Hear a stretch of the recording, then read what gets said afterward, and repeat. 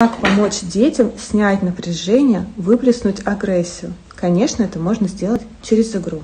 Я Карина Данилова, психолог развития и консультант по детско-родительским отношениям. В своем блоге рассказываю о важном во взаимодействии с вашими детьми. Если актуально, подписывайтесь.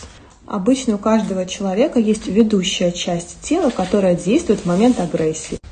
Руки, махать, кидать, пальцы, царапаться, рот, кричать, кусать, ноги, пинать, биться.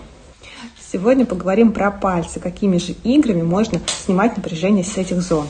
Например, игра царапки. Царапать кожу, замшу, какую-то ткань. Игра с воском. Взять воск от свечи, накапывать его на разделочную доску и царапывать его оттуда сминать фольгу вокруг маленьких игрушек, пластилиновые картины, любые взаимодействия с песком, ковыряние там лопатками, а, пальчиками, всем чем угодно. Это можно делать даже дома с кинетическим песком.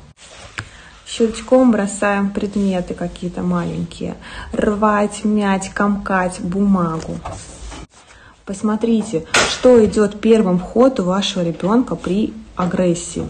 Обычно выбирает именно тот путь снятия напряжения, который ему необходим. Пишите в комментариях, про какую часть тела поговорить в следующий раз.